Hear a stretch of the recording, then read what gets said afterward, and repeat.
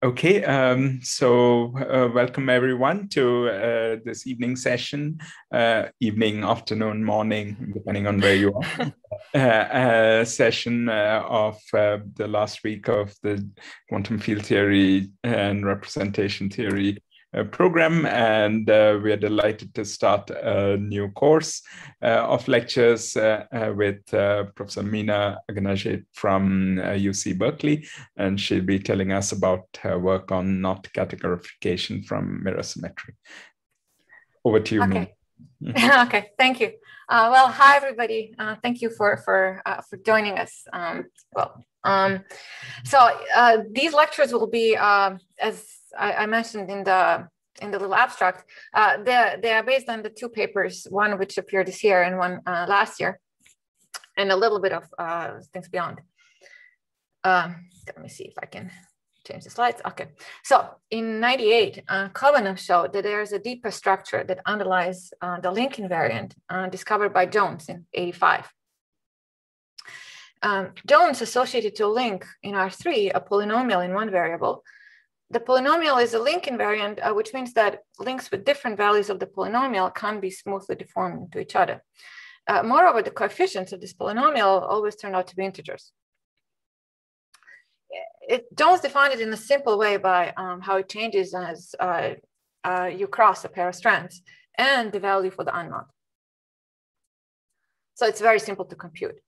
Khovanov showed uh, that uh, strikingly, one can uh, recover the Jones polynomial as a shadow of a much deeper cohomology theory, which assigns to a link a collection of uh, vector spaces graded by uh, the fermion number and um, a second equivariant grading, whose uh, graded Euler characteristic uh, turned out to be is the Jones polynomial.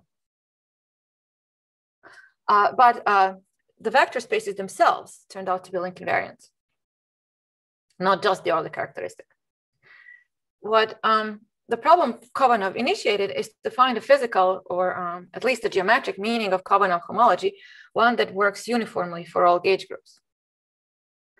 Um, the relation of Jones' um, polynomial uh, to physics was explained by um, Edward Witten in 89. He showed that the Jones polynomial comes from Chern-Simons theory, with gauge group ICU2 and uh, links colored by its fundamental representation. The parameter Q of the Jones polynomial is um, they're related by um, uh, to the level of uh, Simons theory as, as follows. So this placed the Jones polynomial into a more general framework, which one gets by uh, considering Simons theory based on um, different Lie algebras and by varying um, representations coloring the knots.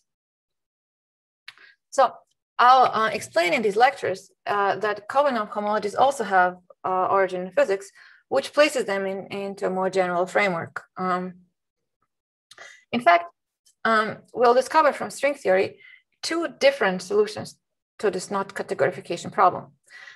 The first is based on a category of B-type branes on a, certain, on a certain very special class of hyperkähler manifolds, which uh, play a role in uh, geometric Langlands.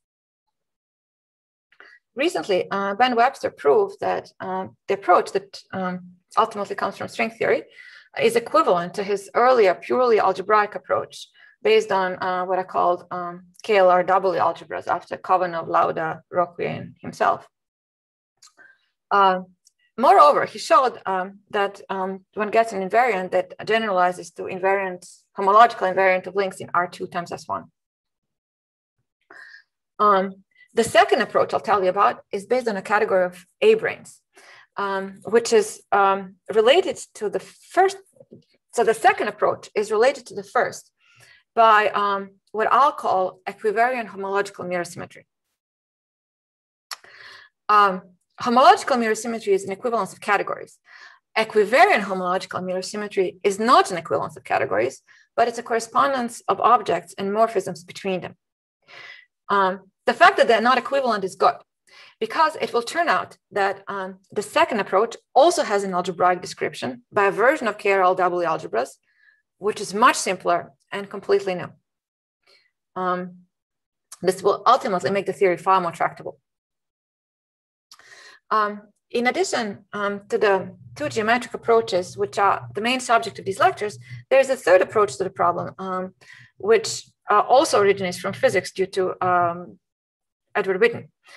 In fact, all three approaches, the two geometric ones and the one due to Witten, have the same string theory origin.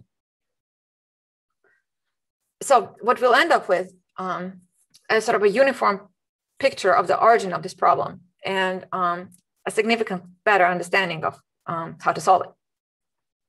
Now, uh, the reason um, knot invariants are uh, interesting for me is not so much that um, uh, knot invariants and and um, the knots and their invariants are interesting, but rather um, because of the wealth of math and physics connections one um, gets to discover once you understand them. The fact that the structure arises from a deeper theory um, will no doubt lead to many more connections. We'll see one of them here, to solvable but highly non-trivial examples of homological mirror symmetry, which connected to representation theory. So uh, I divided this up into chapters so to make it sort of manageable. So um, in the 89 paper, in the same 89 paper, um, Jones, uh, Witten also showed uh, that underlying Chern-Simons theory is a two-dimensional conformal field theory. Uh, we'll take this uh, rather than Chern-Simons theory as the starting point. Uh, in some ways, um, one can view the relation of the two geometric approaches I'll describe to Witten's approach as akin to relation of Chern-Simons theory to its conformal field theory, um, though the analogy is not perfect. Um, conformal field theory, the conformal field theory one needs for this um, has an affine Lie algebra symmetry obtained as a central extension of the loop algebra of G, where uh, one fixes the central element uh, to be the level kappa. To eventually get invariants of knots in R3 or S3, uh, one would typically start with the Riemann surface, which is uh, simply a complex plane with punctures. It's equivalent, but better for our purpose, uh, to take the Riemann surface to be an infinite punctured cylinder. Um, the punctures are labeled by uh, representations of G, and um, two types of representations will play a role for us. To puncture at a finite point um, on the Riemann surface on the cylinder, we'll associate a finite dimensional representation of G, uh, which will moreover take to be minuscule. minuscule representations are a subset of fundamental representations. So for example, all fundamental representations of SUN are minuscule. They are the representations with the property that um, any weight is in the Weyl group orbit of the fundamental weight. Um, so to the punctures at the two ends at infinity, um, we'll associate a pair of infinite dimensional Verma modular representations whose um, highest weight vectors are given by generic uh, weights of the Lie algebra uh, one can view this Riemann surface as obtained by uh, sewing from um, three puncture spheres. Conformal field theory associates the three puncture sphere chiral vertex operator, which um, acts as an intertwiner between a pair of Verma modular representations. Um, to Riemann surface with punctures, conformal field theory associates, associates a conformal block obtained by uh, sewing chiral vertex operators. In doing so, um, you get to make choices of intermediate Verma modular representations. So this construction doesn't give a single conformal block, but a whole vector space. Now, rather than characterizing conformal blocks in terms of uh, vertex operators and sewing, one can describe them as solutions to a differential equation. The equation that they solve um, is the equation uh, discovered by Knizhnik and Zamolodchikov in uh, 84.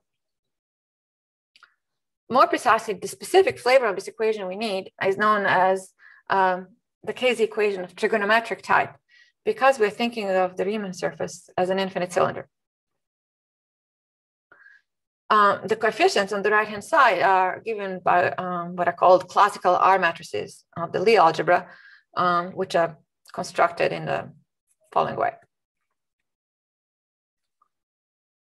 Now, um, conformal blocks are obtained by uh, sewing chiral vertex operators are arise as solutions of this KZ equation, which are analytic in a specific chamber uh, corresponding to a choice of ordering of vertex operators.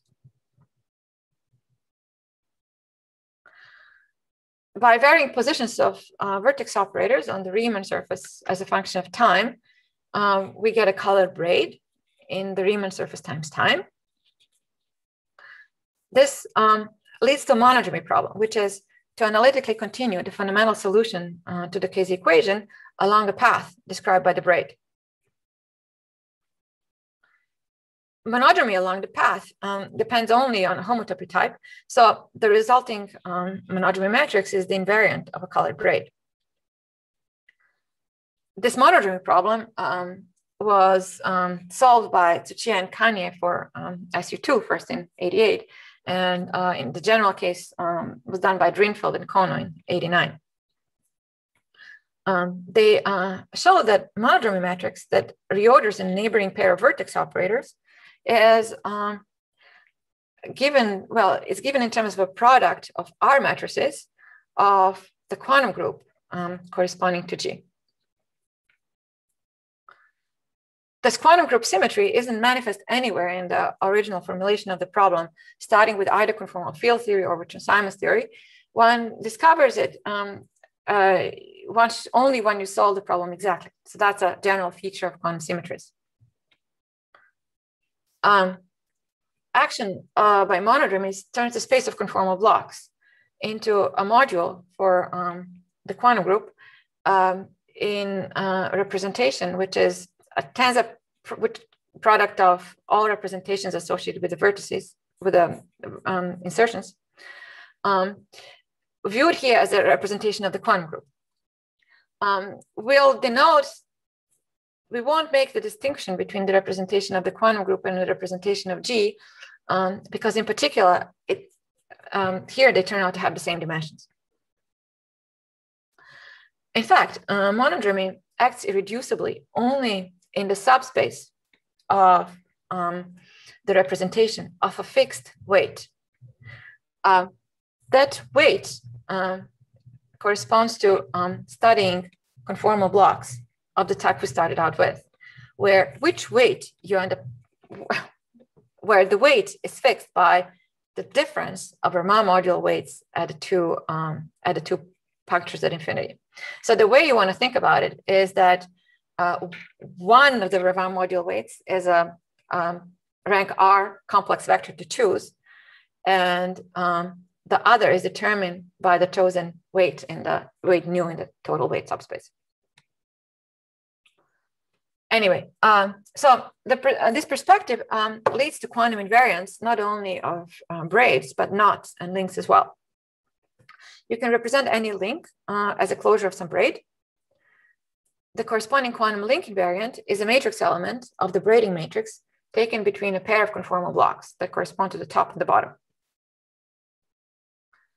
The conformal blocks um, uh, that, uh, that serve as caps and the cups are very special solutions of the KZ equation, which describe pairs of vertex operators colored by complex conjugate representations, which come together and fuse to the identity. So in this way, uh, both braiding and fusion of conformal field theory plays a, an important role in the story. Uh, to categorify quantum knot invariants, one would like to associate to a space of conformal blocks at a fixed time slice a bigraded category um, graded by the fermion number and, and an additional equivariant grading to keep track of Q. And to each conformal block, an object of that category. To braids, we'd like to associate functors between the categories corresponding to the top and the bottom. Moreover, we'd like to do it in a way that recovers quantum knot invariance upon decategorification. That's what the problem means. Now, in typical approach to the problem, one um, proceeds by coming up with a category and then working to prove that decategorification gives the quantum knot invariance when set out to categorify. In other words, it's guesswork. Um, a virtue of both of the approaches um, I'll describe is that the second step is automatic. One of the virtues. Um, now, a starting point uh, for us will be a geometric realization of the Knizhnik-Zamolodchikov equation. So uh, now I'll describe how uh, we get KZ equation in conformal blocks from geometry, and more precisely, more importantly, from supersymmetric quantum field theory. Um, for the time being, um, uh, probably until the end of the last lecture, uh, we'll specialize uh, G uh, to be a simply Lie algebra. So it's of ADE types. It turns out that the KZ equation is a quantum differential equation of a certain um, holomorphic symplectic manifold. That's a, a symplectic manifold um, equipped with a nowhere vanishing uh, 2,0 form. Uh, the result has uh, been proven recently by Ivan Danilenko in his thesis. Uh, Ivan is a postdoc at Berkeley. Um, quantum differential equation of a Kähler manifold um, is an equation for flat sections of a connection on a vector space, uh, on, a, so on a vector bundle over its complexified Kähler moduli. The fibers of this vector bundle are the cohomology groups. Um, the connection itself is uh, defined by, um, in terms of what's called quantum multiplication by divisors. The quantum multiplication um, originates from Gromov-Witten theory or the topological A model OX as um, the first term is simply uh, the classical product on, on the cohomology, and the subsequent terms are given by um, um, works in instant corrections of the A model. The, just as the KZ equation is central for many questions in representation theory, this quantum differential equation is central for many modern questions in algebraic geometry and in mirror symmetry. Um, so in some ways, um, the, the starting point for the whole story is a new connection uh, between these two areas, which comes from identifying the two equations. Uh, to get a quantum differential equation to coincide with the KZ equation, um, solved by conformal blocks um, that we started out with, uh, this X has to be very special. Uh, one way, um, the manifold we need can be described as a moduli space of uh, G monopoles with uh, prescribed Dirac singularities on R3. Uh, G here is a Lie group of adjoint type with Lie algebra little g.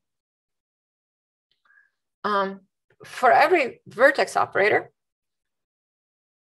we'll place a, a, a singular Dirac monopole um, at uh, the origin of C. So we'll break up R3 into R times C. We'll place the singular monopole at the origin of C and at the corresponding point on R. That's the point obtained by uh, forgetting the circle in the Riemann surface we'll take um, charge of the singular monopole to be uh, the co-weight of little g related to the highest weight um, uh, of LG of the, of the representation coloring the vertex operator by Langlands duality.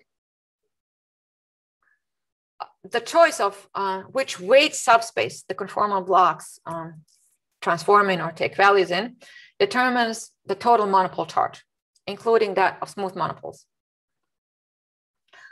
Now, often, in, in fact, that's how we started out. In studying link invariants, we'll start with a compact Lie group and not as what we've done so far uh, with this Lie algebra. The Lie group, of course, is the uh, gauge group. Uh, then um, the group G, whose moduli space um, gives rise to X, whose monopole moduli space gives rise to X, and the Chern-Simons gauge group um, are related by Langlands correspondence. The Langlands correspondence identifies the co-character lattice of um, G with the character lattice of LG and vice versa. In the gauge theory context, the co-character lattice of G labels the charges of um, heavy uh, uh, Dirac type monopoles. Uh, the character lattice of LG uh, labels the charges of heavy, heavy particles charged electrically under, the, under LG. Um, so in Chern-Simons theory, uh, we naturally view knots in three-dimensional space as, as paths of heavy particles charged under LG. and yet to obtain their link invariance, we'll use a description in which the very same heavy particles arise as Dirac monopoles of the Langlands group. Now, uh, the reason why this is the case um, will be explained in the last lecture. Now, in practice, we lose nothing by taking by, by taking the character lattice of LG to be as large as possible. So it coincides with the weight lattice of LG. Then LG, the group, is simply connected, and um, the Langlands dual group is of adjoint type, which is what we assumed. So for example, uh, uh, for the Lie algebra SU2, we would take, to get the uh, homology or the Jones polynomial, we take LG to be SU2, and then G is SO3. Um, so uh, the charge, uh, to summarize, the charge of a singular G monopole gets identified by the Langlands correspondence with the highest weight of the representation that colors the corresponding strand of a link. So our manifold is um, obtained by fixing the data of all the singular monopoles. So in particular, the positions on R3 are fixed and adding smooth monopoles so that, so that the total monopole charge is a dominant weight nu of G.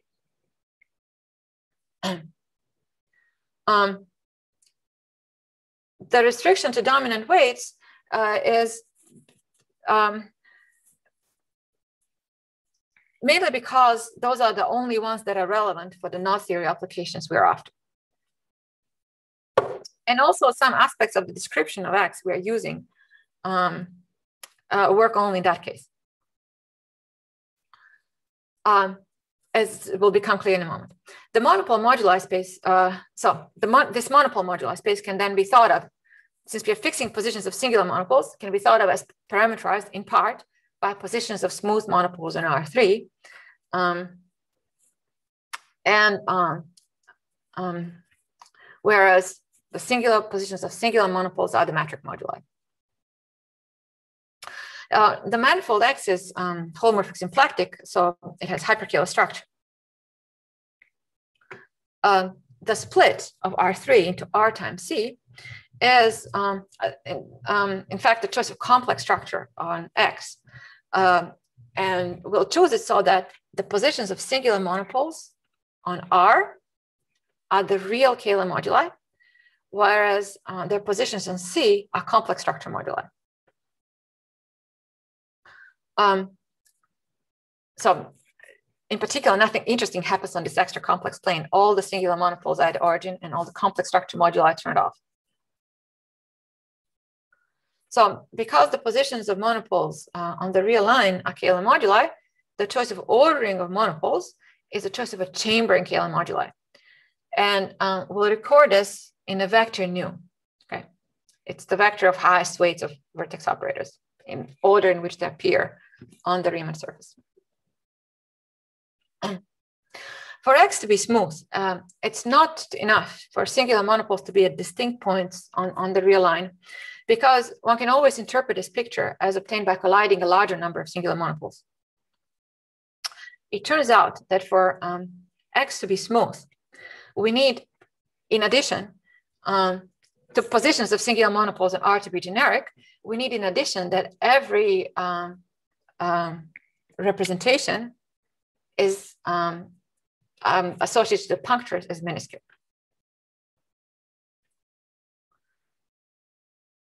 So, um, okay. Now, our manifold has several other useful descriptions. Uh, to mathematicians, the best known one is um, as a resolution of um, um, uh, a certain um, transversal slice in the affine Grassmannian of G.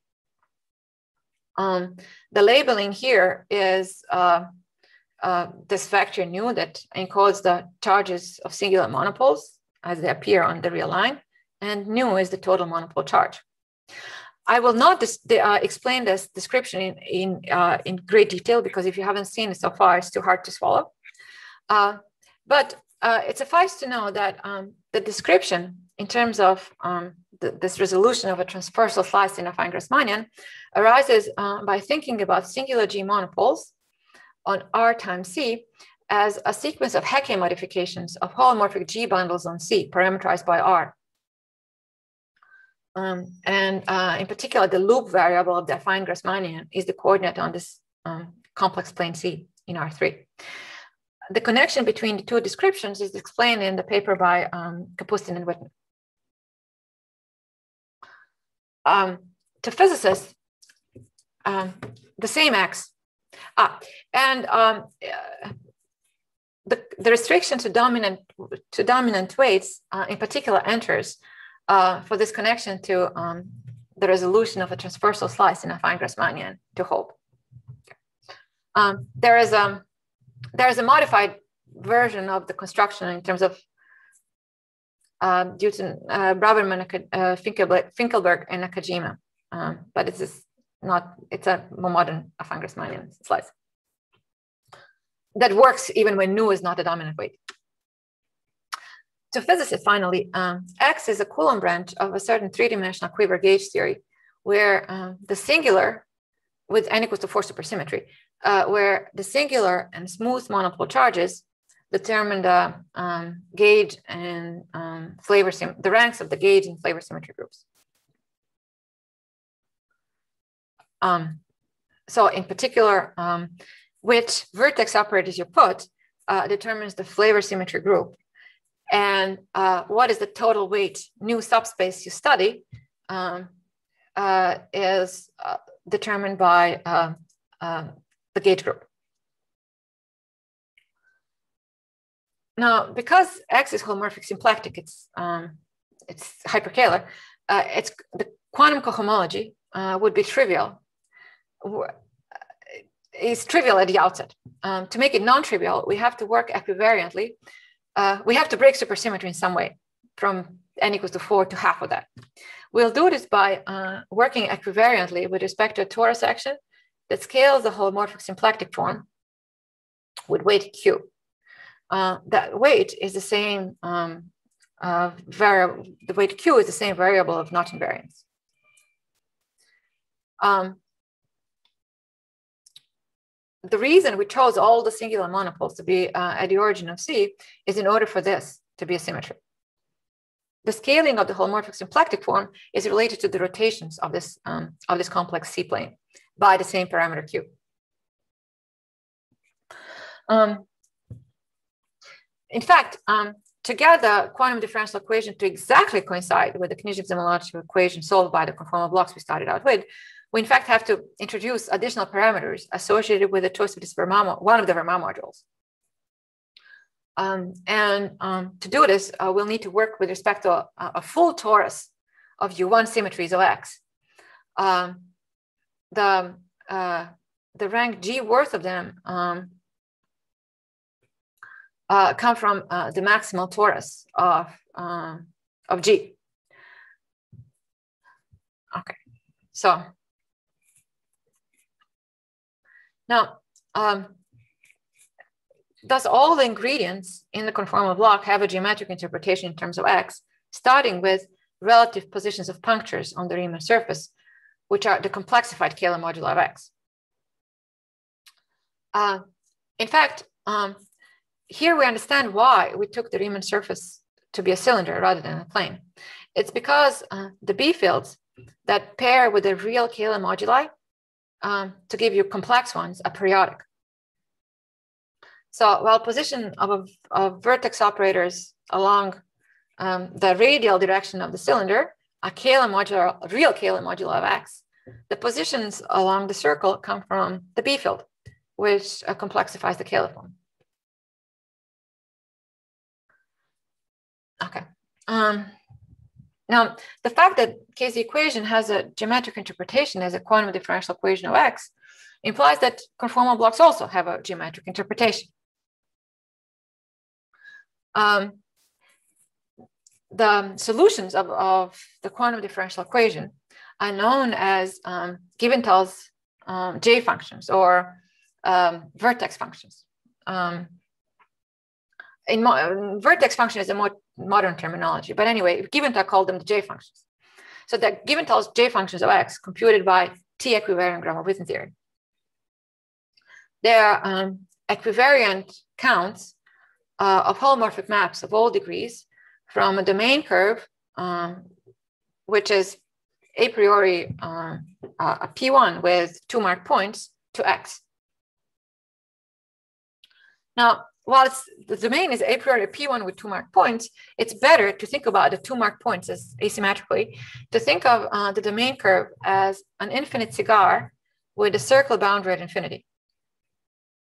Um, the boundary data is a choice of a K-theory class, equivariant K-theory class. Um, it determines which solution the, of the KZ equation the J function or the vertex function computes. Uh, insertions of cohomology, equivariant cohomology classes at the origin of this long cigar um, make um, the, the J function into a vector. This is a good thing because conformal blocks are also vectors. And in fact, uh, geometric Satake correspondence identifies uh, the cohomology of, um, of X, uh, equivariant cohomology of X, with the weight mu subspace of the representation of G, um, tensor product of all the representations associated with, um, with uh, vertex operators. So this way, um, the J function and conformal blocks take values in the, in the, in the same vector space. Now, this geometric interpretation of um, conformal blocks in the KZ equation in terms of X has more information than simply a reinterpretation. Uh, uh, yes, so I, I, just now saw a question. Yes, so all of our representations are minuscule. We choose them to be so that for the X to be smooth. This may have been from, actually, it's not, it's not from that long ago. Good. Okay, so. Um, so the reason we have more information is because underlying Gromov-Witten theory is a two-dimensional supersymmetric sigma model on X. Um, the sigma model describes all maps from D to X, not just the holomorphic ones. The physical meaning of the J function or the vertex function is as a partition function of the supersymmetric sigma model um, with target X on D, where in the interior of this long cigar, we preserve supersymmetry by an A-type topological twist. So the partition function is computed by A model or Gromov-Witten theory of X. However, at the circle boundary at infinity, we will place a B-type boundary condition. Because the cigar has infinite length, A-type supersymmetry in the interior is compatible with any supersymmetry on the boundary, even of B-type. Now, this A-B type mix is characteristic of central charges of branes.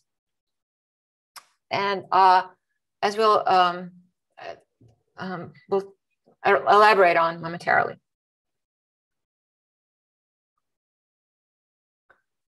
Um, the boundary conditions form a category and a category of boundary conditions of a sigma model on X, uh, preserving B-type supersymmetry and working equivariantly with respect to T is known as the derived category of T equivariant coherent sheaves. Um, the fact that the two coincide is uh, due to works of um, Aspinwall and Lawrence, Douglas, and um, also um, recent works of Hori and collaborators who explain this in great detail. Um, picking a, a B-type brane as a boundary condition and infinity, the supersymmetric partition function is Givental's J function, which depends on the brane only through its charge, that corresponding equivariant K-theory class. However, while the answer for the partition function depends only on the charge of the brane, only on the K-theory class, not on the brane itself, the underlying sigma model needs an actual brane, an actual object of the derived category to serve as a boundary condition.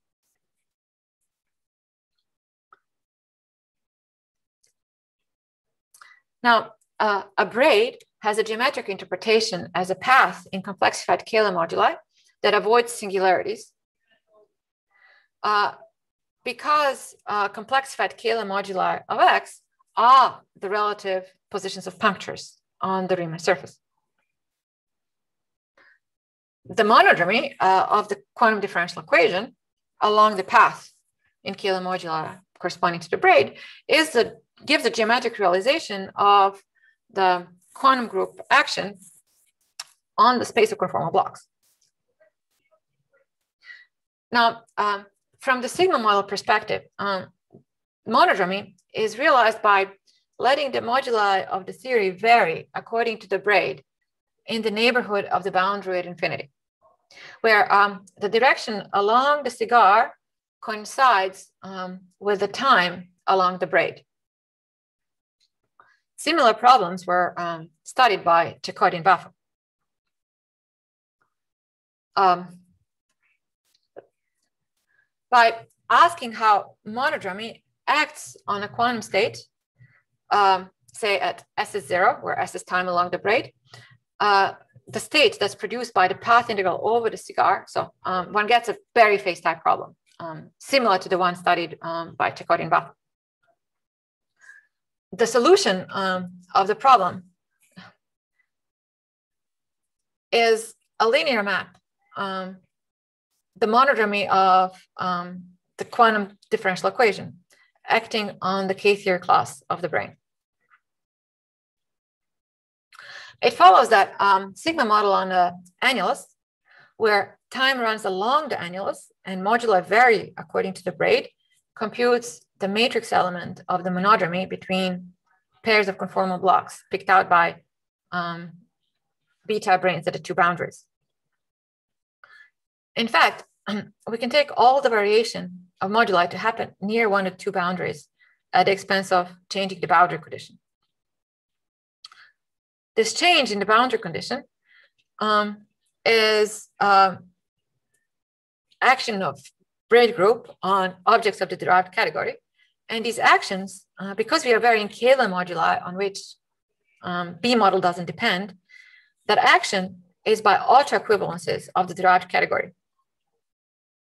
Uh, now, while the whole category of branes um, would come back to itself if you go around a uh, closed loop in a parameter space, um, the objects themselves don't come back to themselves. So they're not invariant. um, now, the very we, the sigma model in the very same annulus, where we time we, we instead think of time as running around the circle, computes the index of the supercharge preserved by the two branes.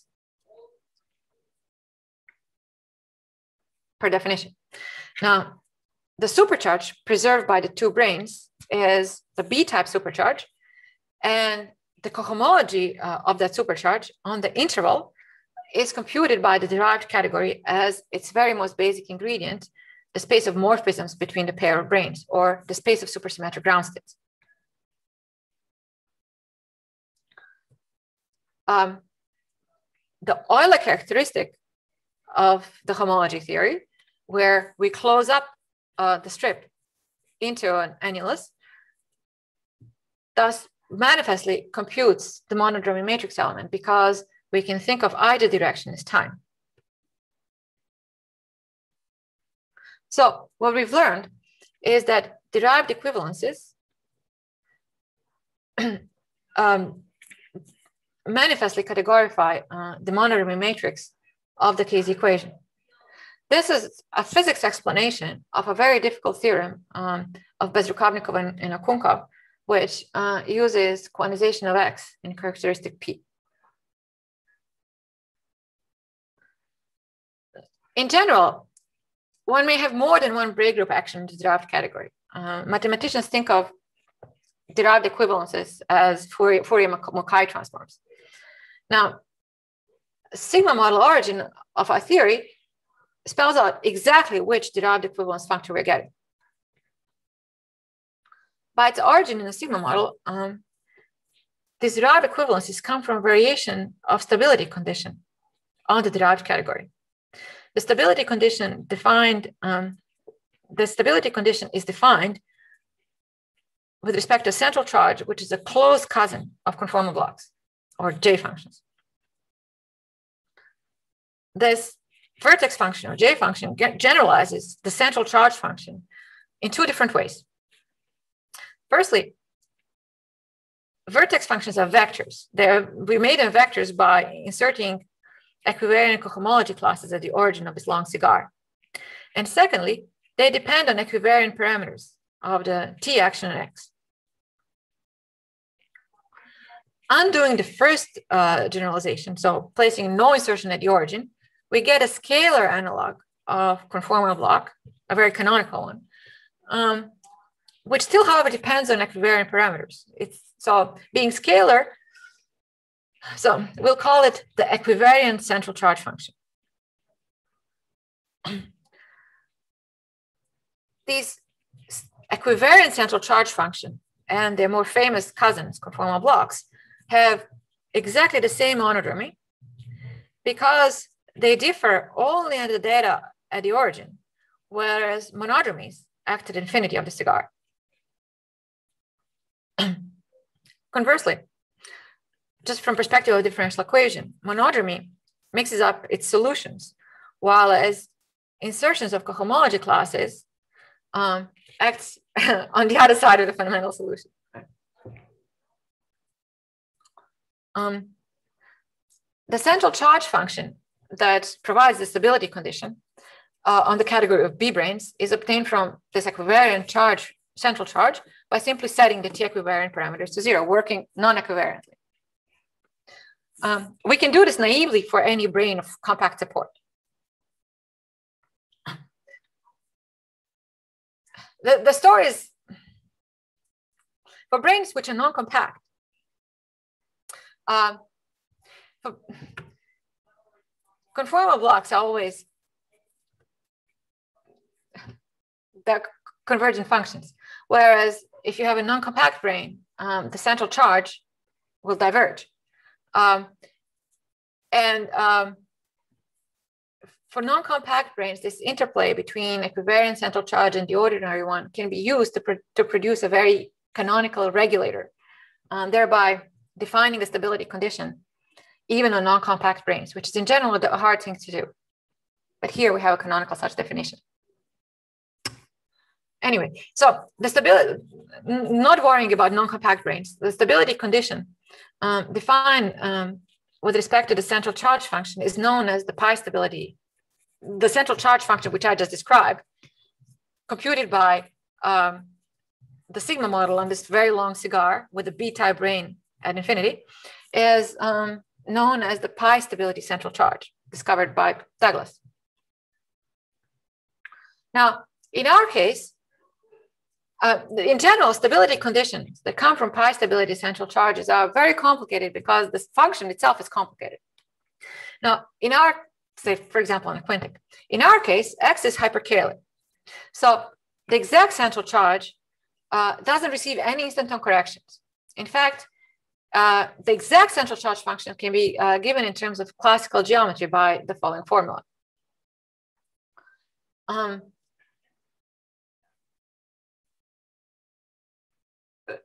in so in um, in general, for for just semi-classical approximation to central charge functions, there are such things like gamma classes that enter. Here, there is no such thing by hyperkählerity of x. The exact formula is just this. It only involves the square root of the Todd class. Now, for a brane supported on a holomorphic Lagrangian um, in, in X, um, with some vector bundle over it, the formula becomes even simpler. So it becomes just this. Or if you don't have any vector bundle, the formula, the central charge function is simply the volume of the brane, the complexified volume of the brane, because the only contribution you get comes from uh, the complexified Kähler form.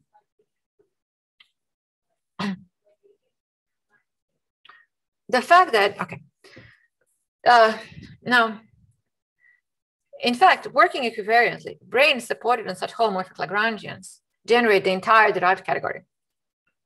Um, in any fixed chamber chambering Kähler moduli, they are the, the semi-stable branes, the physical branes, um, in the what's called the abelian heart of the derived category, whose central charge is in the upper half uh, of the complex z-plane, and from which you can get any other brane in the derived category by binding. so the set of stable branes is extremely simple. That's simply holomorphic Lagrangians. Um, okay.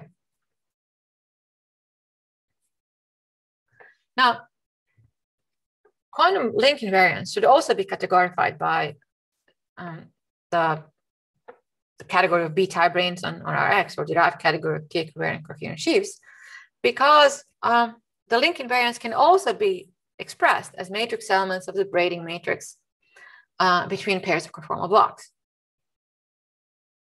However, the first step is to find objects of the derived category whose vertex functions are conformal blocks, or whose J functions are conformal blocks, in which pairs of vertex operators fuse to trivial representation.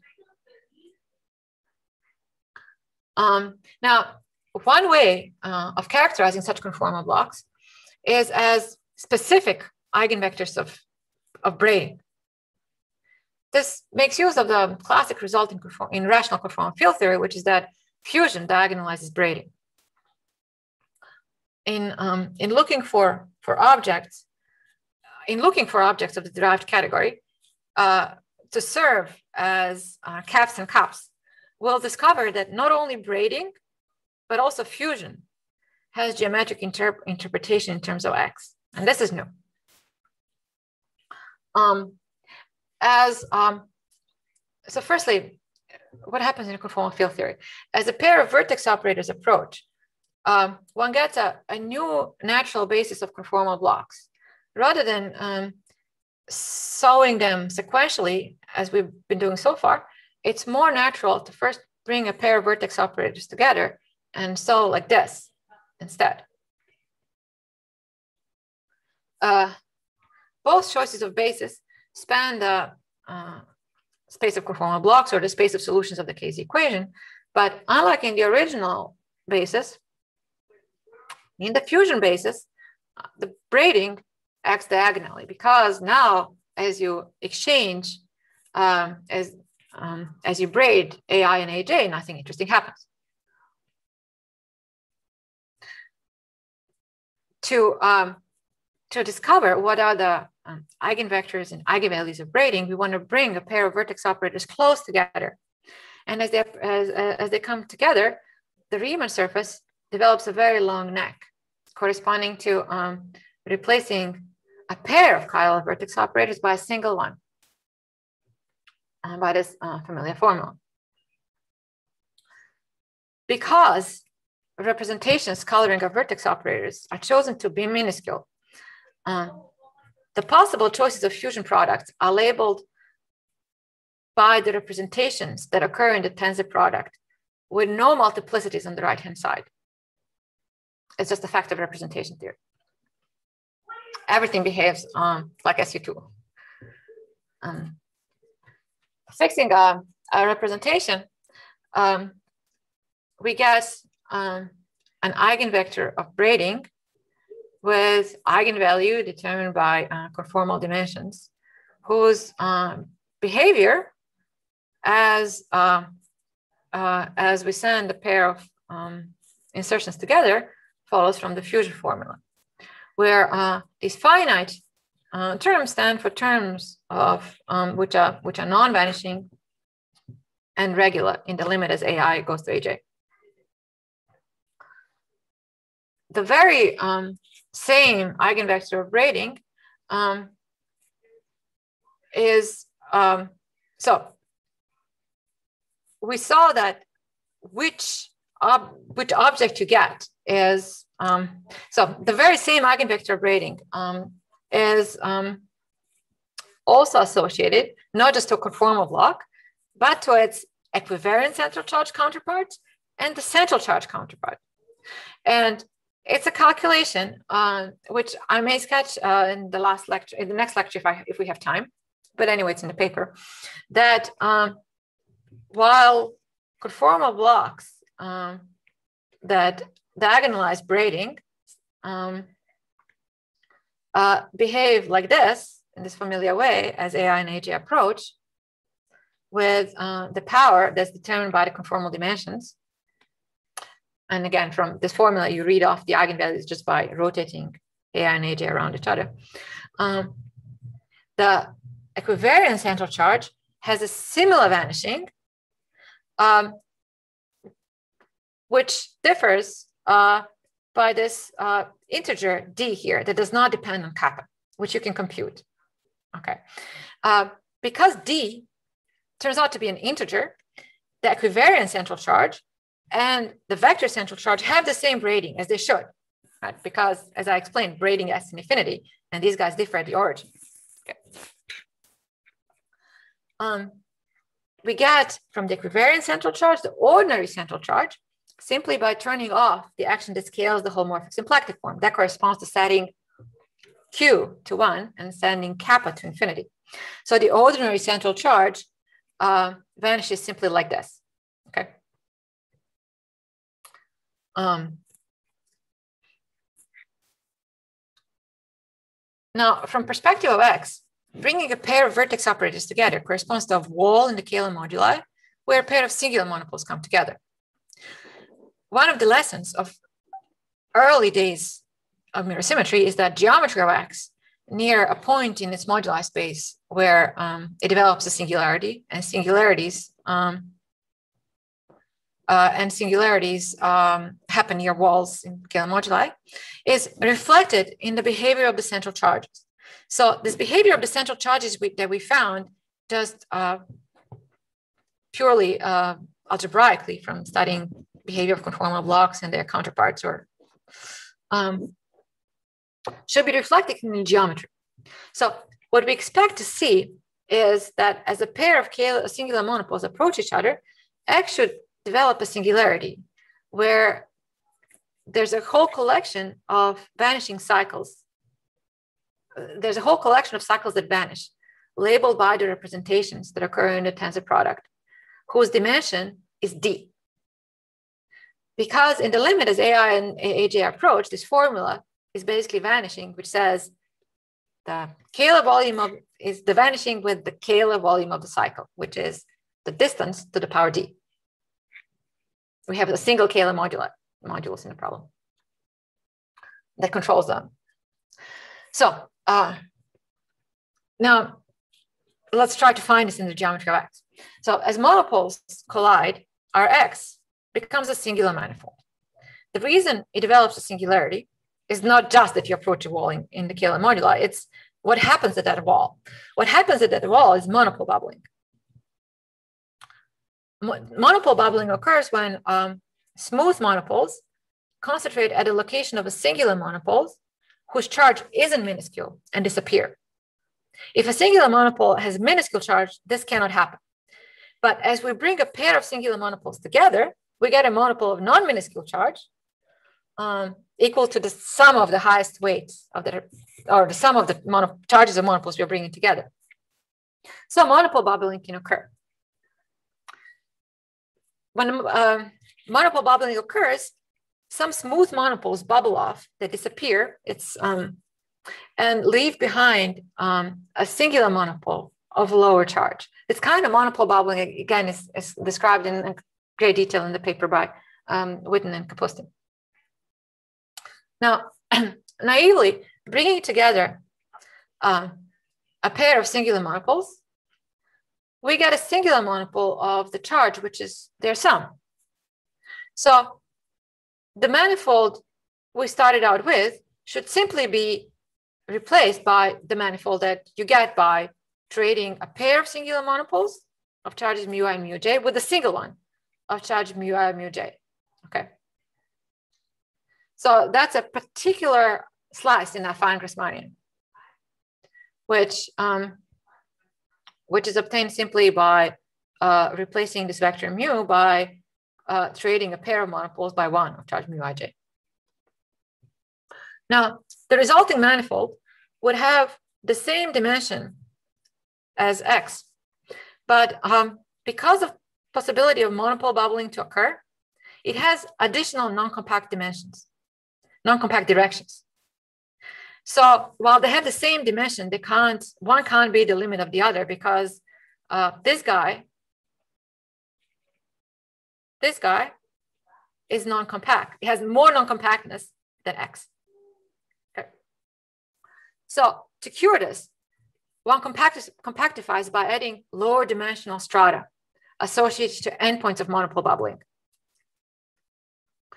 Uh, so the actual singular uh, manifold that you get by bringing a pair of singular monopoles together actually has, a, in general, a terrible singularities because it's a whole union of strata of different dimensions. Okay. So uh, in a given component here, fixing mu k, a certain fixed number of monopoles have bubbled off. Kapustin and Witten explained that the types of monopole bubblings that can occur are labeled by the representations in the tensor product of Vi and Vj, which will order so that we get more monopole bubbling, more monopoles bubble off, the smaller m gets. That's what um, this means. Um, now, the structure leads to vanishing cycles we were after in the following way. A transverse slice uh, to a stratum T in the monopole moduli space, where uh, a singular monopole of charge uh, mu ij is, is replaced by a singular monopole of a lower singular monopole charge because some monopoles have bubbled off. So the transfer so the, the transverse slice to T, which is this black line, is the space W, the green space. The space W is itself moduli space of monopoles. It's the space of monopoles whose positions you need to tune so that the, the, the bubbling of type mu k can occur. So the picture is basically like this. Um, now, as we resolve singularities to replace x check, the singular x, the singular manifold by the smooth one, our transverse slice also becomes smooth because we simply replace this singular space by its resolution obtained by uh, splitting uh, mu i mu j back into a, a, pair.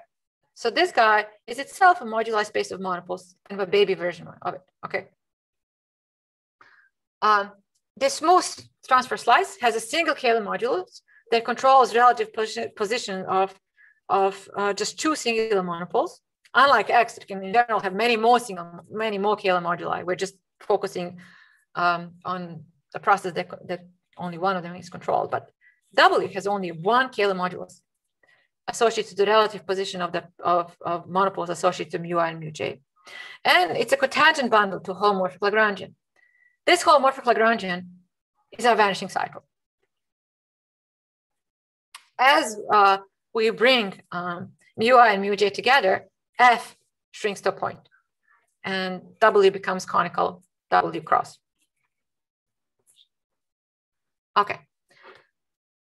So uh, these vanishing cycles come in a family uh, parameterized by t uh, with um, because uh, w the singular W was a transverse slice to it. So we can get branes whose central charge vanishings, vanishes exactly like Z0 by um, taking a brane, which simply uh, is a structure sheaf of this vanishing cycle. It's simply a, just a brane wrapping the vanishing cycle with trivial bundle on it, together with any brane on the base T. um, so these branes are objects of the derived category whose vertex functions or J functions come as close as possible to being conformal blocks in the fusion basis. Now, uh, their um, J functions have the same leading behavior as conformal blocks which diagonalize braiding. However, in general, they are subleading terms, which um, uh, where uh, the subleading terms are terms that vanish faster. So you don't see them in the leading limit with coefficients that are, that are rational functions of Q. So what's happening is that finding a set of branes whose vertex functions are exactly those conformal blocks that on the nose are eigenvectors of braiding, or equivalently whose equivariant central charge vanishes exactly like this with no subleading terms, would require diagonalizing the action of braiding on the derived category. And even very simplest examples show that this is not possible. the real intuition for this is mirror symmetry, which I'll explain in the next lecture.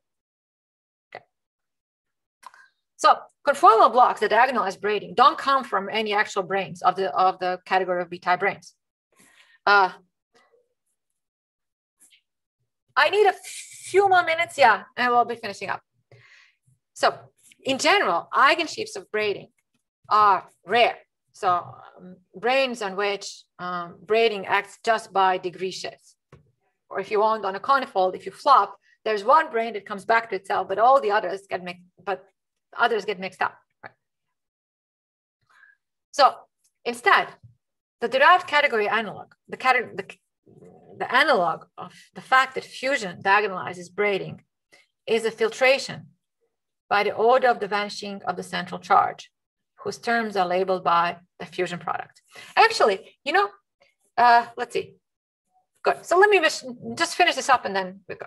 So the nth term in this filtration is the subcategory that's generated by branes whose central charge vanishes at least as fast as uh, the dimension of the corresponding vanishing cycle in general, it can contain terms that vanish faster. Okay. So this kind of filtration you, is induced from um, an analogous filtration on the category of, of semi-stable branes, on, on those which are the physical branes, not the topological branes. Um, uh, those those are the branes that preserve exactly um, the semi-stable ones are the ones that preserve exactly you know fixed supersymmetry so.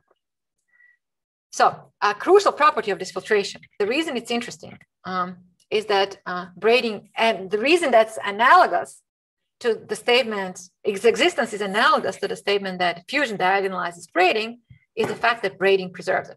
All right, so since I'm two minutes over time, and we will need this for what we'll do tomorrow, maybe now it's a good time to stop.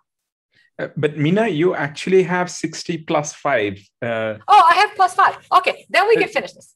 Yeah. Great. Okay. Very good. So, so a crucial um, property of these filtrations, and the reason um, they are derived category analogs of the statement that fusion diagonalizes braiding in conformal field theory is that braiding preserves the filtration. So uh, braiding, which exchanges a pair of vertex operators, is a flop that trades x for x prime corresponding to two different orderings of monopoles. It's a generalized flop because unlike in the more familiar flop, say on the conifold or an A1 singularity, uh, where a single spherical cycle vanishes, which is a sphere or uh, of some sort, here we find vanishing cycles corresponding to all the representations in the tensor product, and in general, they're not spherical. now, braiding preserves the filtration. So we get such a filtration on each side. Um, braiding preserves the filtration because it has the effect of mixing up objects of a given order of vanishing of the central charge with those whose central charge vanishes faster and which belong to the lowest lower orders in the filtration. Again, think about, again, the intuition for this comes from mirror symmetry uh, and, and become more clear uh, tomorrow.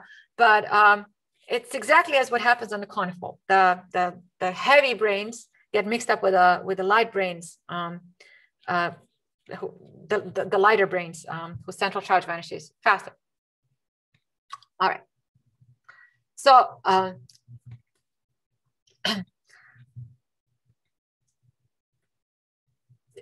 also this fact that um, braiding mixes up objects of one order, order uh, filtration with those at lower orders is also reflected in the behavior of the central charges.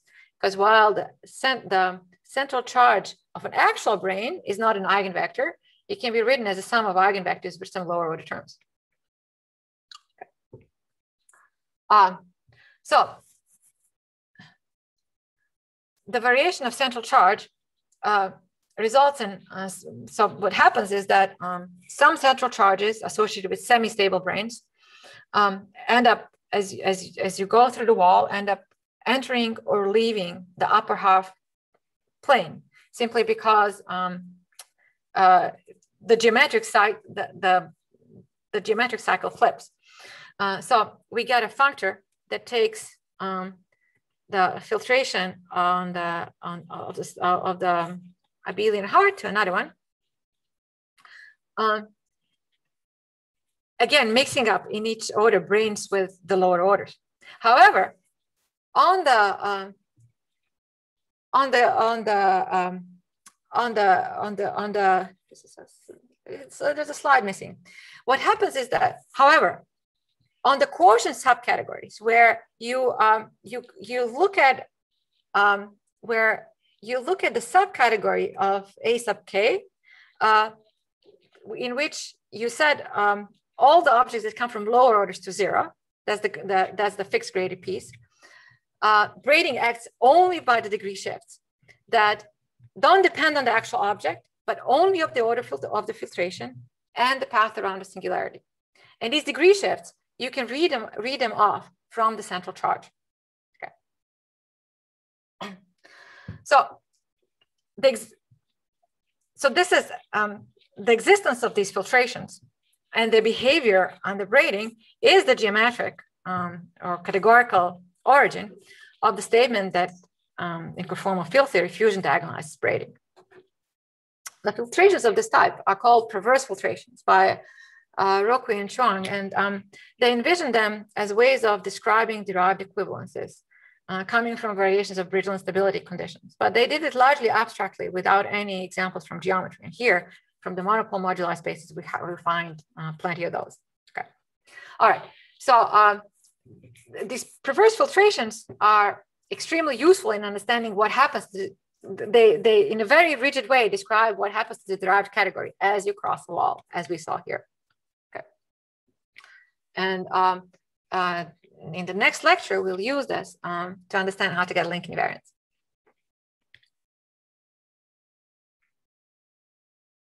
So now we stop. okay, thanks very much. And uh, let's all uh, thank Mina for a very good, very clear lecture.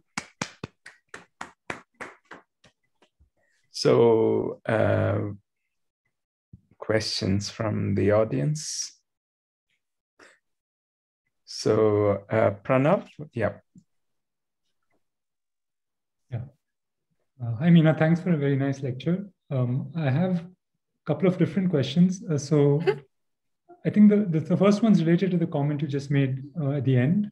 So um, a large part of it is, I mean, to what extent, I mean, you formulated the story in terms of the geometry of X and the mm-hmm. geometry of X. Now, to what extent does I mean, this is slightly vague, but to what extent does it depend on the specific choice of X that you took? Oh, extremely much, right? As uh, as this should have um, the hopefully the story of how uh, you know fusion arises should should um, should make it clear that it's very very detailed information about what X is that enters. Right, but in a, in, a, in, another sense, you can um, as you said, I mean, you can talk about a variation of Bridgeland stability conditions and look at autoequivalences that come from um, sure the space of stability conditions. So some part of the story is some uh, part of the story is general. So what happens?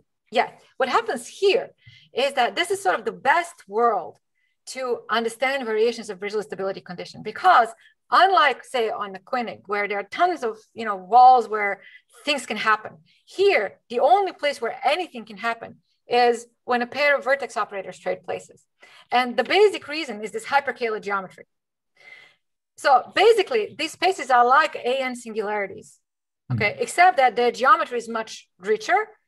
And uh, and unlike say, uh, you know, in the quintic where, you know, monodromy of the of the period matrix of the quintic, well, it's some integer matrix, you know, here, monodromy matrices are, are given by, you know, R matrices of the quantum group, which is, you know, they're, they're interesting things, right? right. So uh, have these uh, for these these categories, these equivalent categories of coherent sheaves, um, is so is the statement here that some component of the space of Bridgeland stability conditions is described by the positions of these? Uh, yeah, I think here should be everything. It should be everything, right? And um, one should be able to make this precise, actually, uh, mathematically, I mean, mm-hmm. proving that this gives you Bridgeland stability condition and the variations is not a trivial thing. Right. But they're basically baby versions of, of this, which um, which uh, Tom Bridgeland and uh, and um, um, um, and Richard Thomas have done in two separate papers, both mm-hmm. explicitly constructing space of Bridgeland stability conditions on an A, uh, basically on AN singularities, on AD mm-hmm. singularities. Okay, so here uh, you get a whole family and a much richer one, which is because the cycles that, that, that, shrink are much more interesting, right? And, and you get this richer structure. So. So proving that you actually get a variation of, of Bridgeland stability condition would be really, you know, uh, interesting for mathematicians. Yeah. Thanks. Thanks a lot. Aswin. Yeah. Yeah, hi, uh, hi, Mina. So um, my question is about the uh, minuscule condition on mu. Uh -huh. uh, if I understood correctly, uh, you had to impose that in order for the slice in the affine Grassmannian to admit a smooth resolution. Did yes. I, that's okay. right. So, uh, and uh, why is that important for the subsequent uh, development? Like, what would happen if I picked a non-minuscule mu? Where would I run into difficulties? Well, uh, for for x, as you can see, it looks very very bad because what's going to happen is that um, instead of um, you know having a smooth manifold, it has singularities of the kind, you know, it's not like a local singularity where some cycle has shrunk.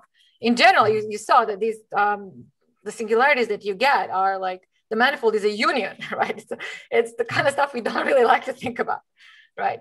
Um, so uh, it's possible that there's some way of curing the singularity and uh, the dealing with it, uh, uh which may very well be true, but I, I, I just wouldn't want to uh, attempt it on, on the first try. Okay. Okay. And this choice of mu ultimately in the knot theory setting. Actually, uh, I think there, I think there is a good chance to think that maybe it's going to be okay, at least in some cases. Like, for example, SU2 with arbitrary representations, I think it should be okay. I think it should be okay. Uh, for example, yeah, singularities are not as bad there, I think. Yeah, sorry. Mm -hmm. I see. Okay. Uh, uh, yeah. No, I was just going to ask: Is this the mu that ultimately will enter in the uh, like in the Jones polynomial, uh, there's a choice of a group and an irrep. Is that the same as this mu? Uh, that's right. So the, the, the, the, representations we're, we're putting are the charges of these singular monopoles. Uh, what um, the fact that we are restricting to a fixed weight subspace is sort of a technical part in the story of the Jones polynomial, which uh, you know you may miss if you if you you know if you didn't study the, the problem directly, right? Uh, but it's true that uh, that braiding acts irreducibly. For example, it's easy to show from the KZ equation. The braiding acts irreducibly only on the subspace of fixed weight. In terms of getting a geometric uh, picture, uh, it's quite crucial that this is true because then we can get deal with nice spaces that you know physicists can understand. Um, there is um,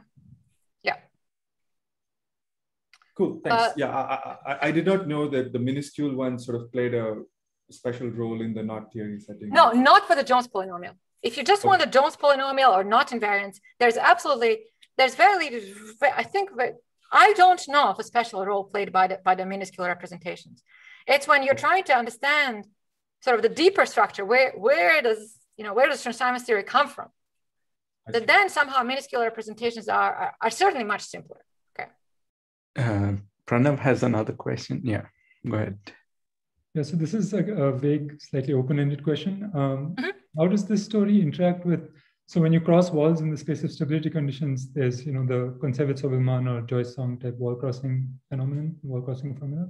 Mm-hmm. Um, I'm just wondering how does that interact with the story that?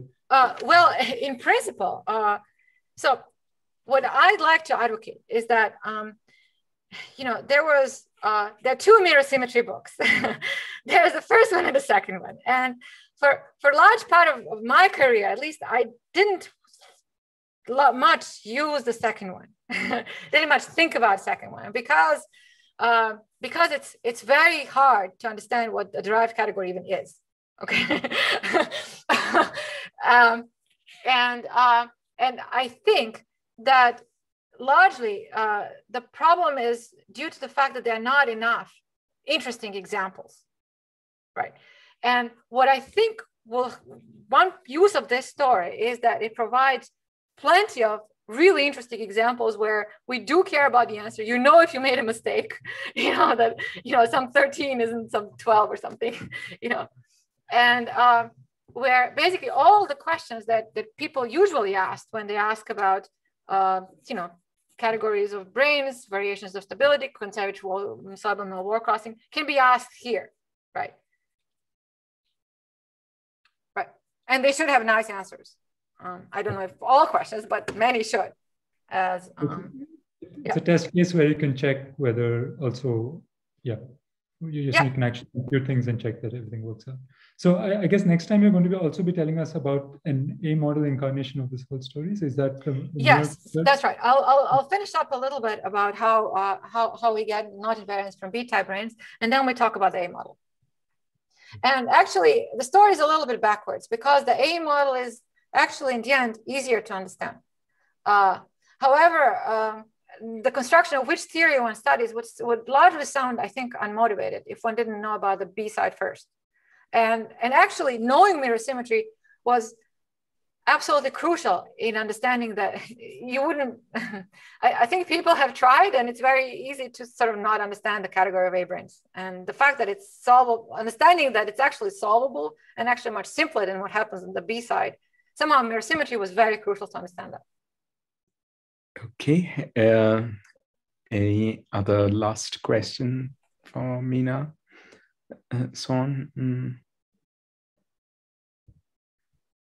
Okay. In any case, we are uh, over the time and we have another talk starting in less than 15 minutes. Uh, so we'll have a break now, but let's thank uh, Mina again and uh, look forward to our next lecture. Thank you for joining.